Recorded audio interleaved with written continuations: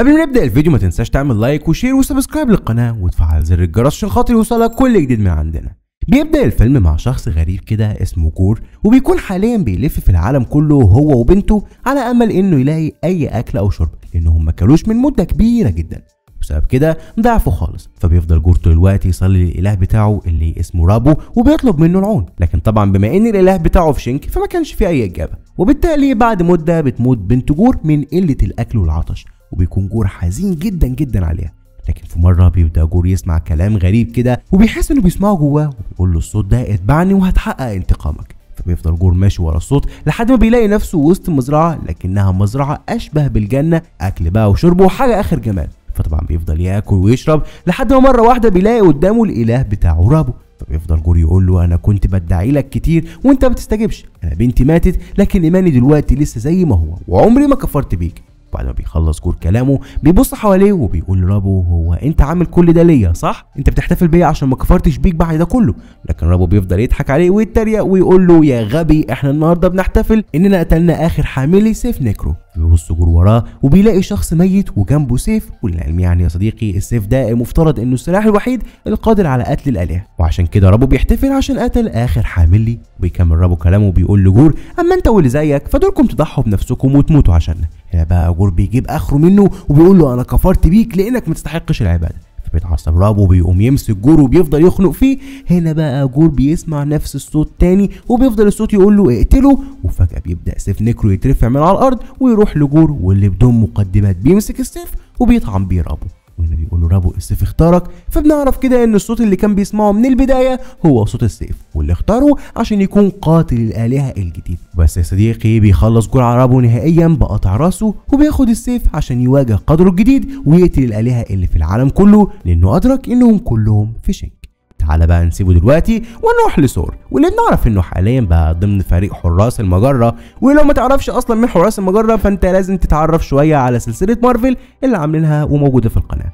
عامة في الوقت ده بيجي بيتر كويل لثور وبيقول له عندنا مهمة جديدة فبيطلع ثور معاه وبتكون المهمة في كوكب كده احتله عرق اسمه الكونسن.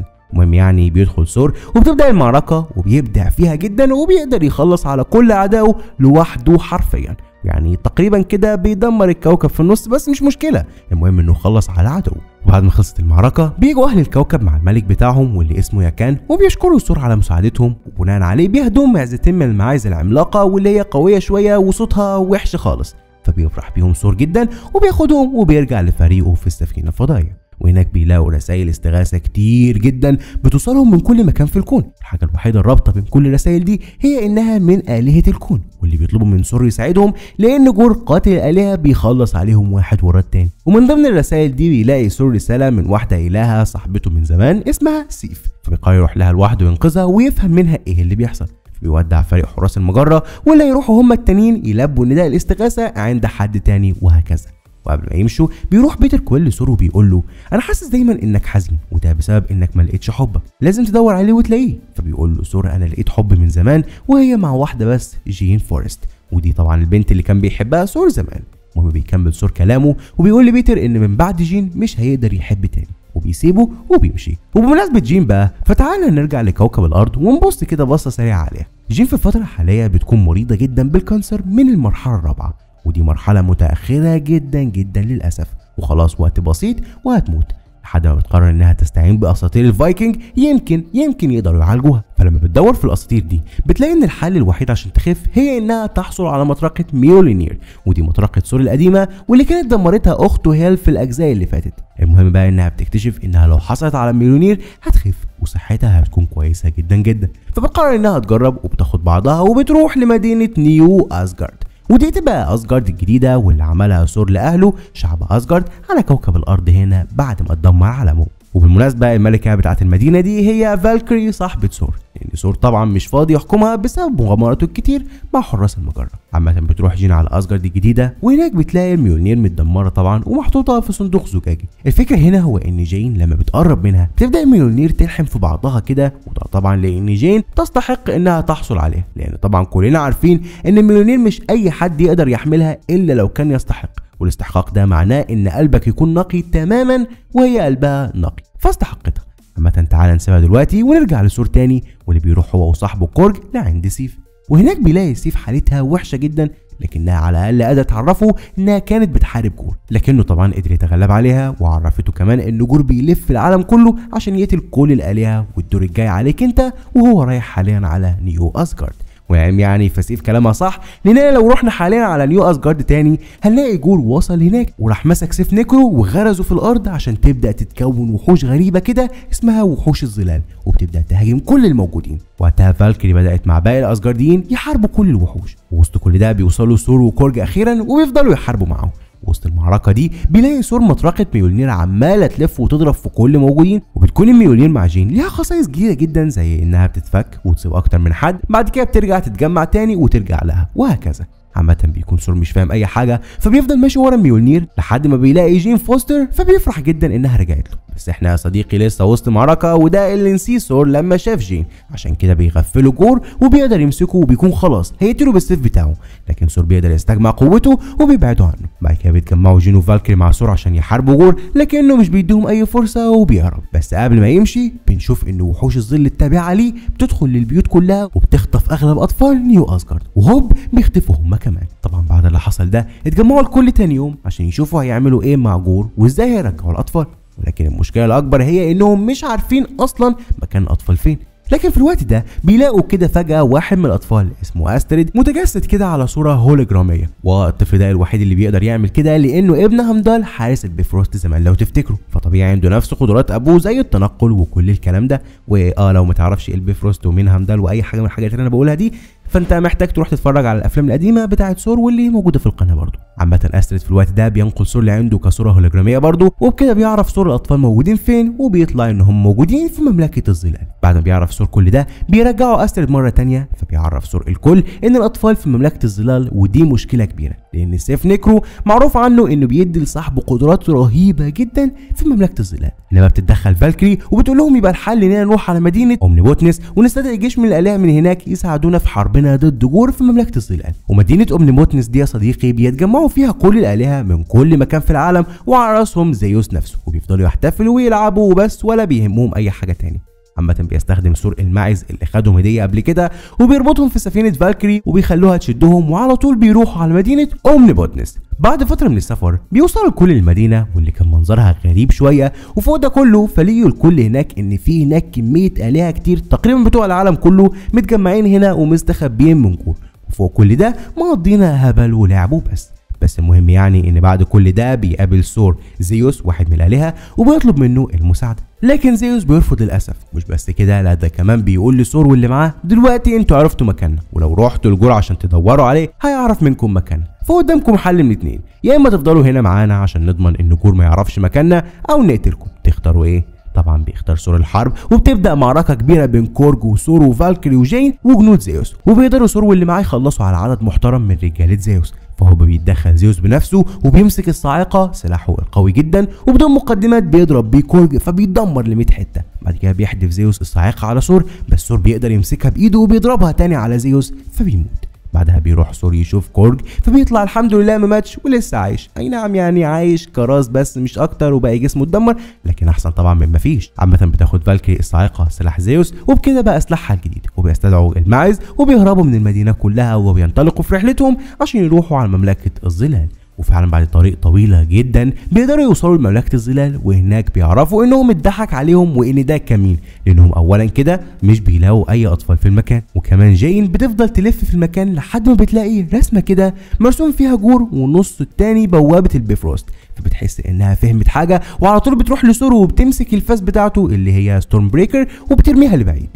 بيسألها سور عملت كده ليه؟ بتعرفه جين إن جور جايبهم هنا عشان ياخد منهم الستورم بريكر وده يا صديقي لأن بعد تدمير البيفروست زمان في الأفلام القديمة بقت وسيلة التنقل الوحيدة هي الستورم بريكر واللي عندها نفس قدرات البيفروست طب حلو جدا. برضه جور عاوزها ليه؟ عشان يستخدمها ويقدر يروح لإترنتي وإترنتي يا صديقي هو إله برضه في شينك ولكن بيخلي أي حد يروح له يتمنى حاجة وبتتنفذ. وببساطة جور عاوز يروح لهناك ويتمنى إن الالهه يموتوا وبكده يكون حقق اللي هو عاوزه بشكل أسهل. وبعد ما جين فهمتهم كل حاجة بيوصل جور بنفسه ومن غير كلام كتير بيربط فالكري وسور وجين وبيروح لسور وبيفضل يهدده بقتل جين لو ما استدعاش الفاس بتاعته حالا. وفعلا بيستدعي سور الستورم بريكر لكنه طبعا مش بيديها لجور بل بيقدر بيها يفك نفسه. وجين وفالكري وهنا بقى بيبدأ جور يطلق عليهم وحوش الظلال العملاقة والقوية جدا بتاعته. وبتبدأ المعركة وبيكون الكل بيطحنوا في بعض. فالكري وجين بيحاولوا يقتلوا الوحوش. أما سور فبيدخل في قتال قوي جدا جدا مع جور وبيفضلوا الاتنين يبهدلوا في بعض شوية لحد ما بتيجي فالكري بالصاعقة وبتحاول تقتل جور لكنه بيكون أسرع منها وبيتفادى الضربة وبياخد الصاعقة وبيطعنها بيها.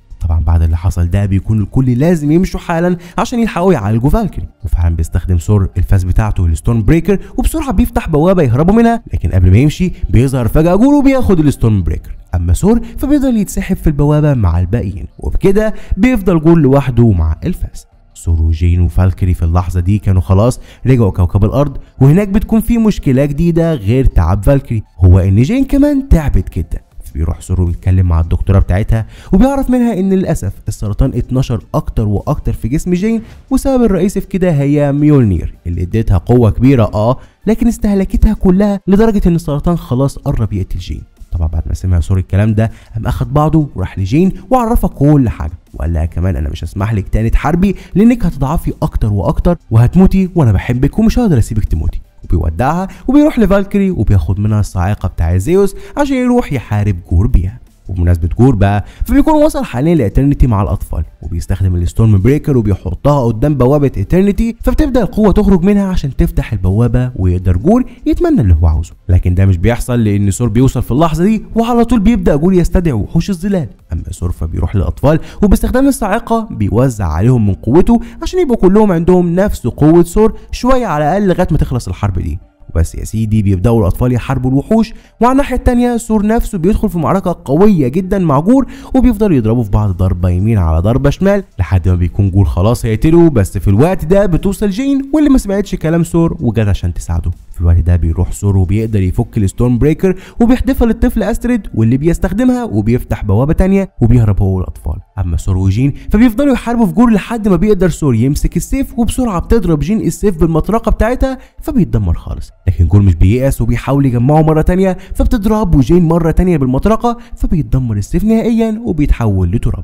بس للأسف في اللحظة دي بتقع جين مغمى عليها بسبب إنها تعبت زيادة. لكن دي مش المشكلة الوحيدة المشكلة التانية بقى هي إن البوابة بتاعت ايترنيتي كانت خلاص اتفتحت. بيدخل جور لجواها وهوب بيتحول العالم كله من حواليهم وقدام جور بتكون موجودة ايترنيتي وبيروح لها عشان يتمنى أمنيته الاخيره في الوقت ده بيقول له سور فكر كويس بدل ما تدمرني من غير سبب. اتمنى إن بنتك ترجع لك. ويسيبه وبيروح يطمن على جين وهو مش فارق معاه أي حاجة. هنا بقى بيفضل جور يفكر شوية وبيقول لسور أنا خلاص بموت. فحتى لو اتمنيت إن هي ترجع لي مش هكون معاها. فبتقول له جين ما تقلقش هتفضل في أمان. وهنا بتودع جين سور وبتختفي كدلالة إنها خلاص ماتت. فطبعا بيزعل جدا عليها.